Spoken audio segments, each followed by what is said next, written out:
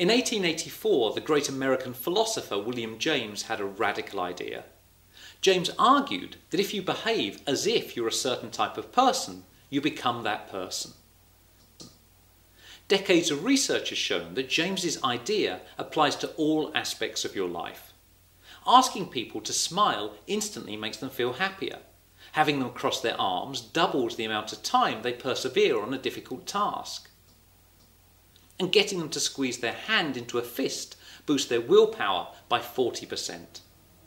Research from Harvard shows that if you take people in their 70s and 80s and get them to behave as if they're younger, their memories improve and their reaction times become faster.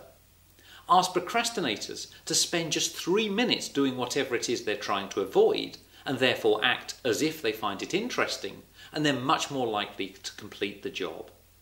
And research from MIT shows that when you ask people to sit on a hard chair and negotiate about the price of a used car, they drive a harder bargain and offer 30% less than those sitting on soft chairs.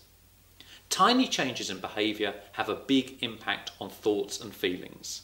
Forget about positive thinking, it's time for positive action.